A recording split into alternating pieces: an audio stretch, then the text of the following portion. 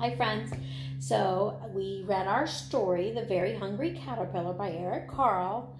Now, we're going to make a tasty little treat that we can all enjoy. Uh, we need, you're going to need some skewers, some green grapes, and some strawberries. This is very easy to do.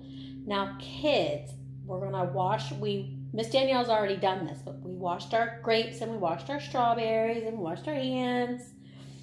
So now kids, especially you little ones, can start. You can help mom and you can start picking off the grapes. Mom and dad, whether you realize it or not, this is a great little eye-hand fine motor skill for them to do.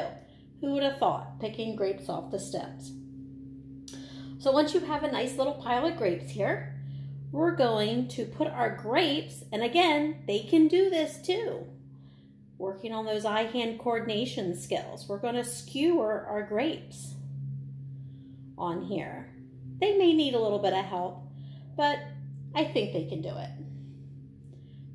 And you can put as many grapes as you want on here. We're doing green grapes because our caterpillar is green. You are correct. So I'm going to put one more grape on here. I'm going to push my grapes down a little bit so I have enough point at the end to put my... Now, we have the body of our caterpillar now I cut my strawberry in half. So, and look, it kind of looks like the very hungry caterpillar. Now you have a nice and tasty treat to enjoy. Have fun making your very hungry caterpillars. I hope to see pictures soon. Bye, friends.